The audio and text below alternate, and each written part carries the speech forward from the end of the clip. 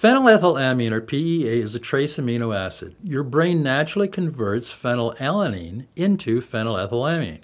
PEA is at the, not at the top of most nootropic stack choices because its effects are so short lived. The most famous promoter of phenylethylamine was Dr. Alexander Shulgin and his wife Anna.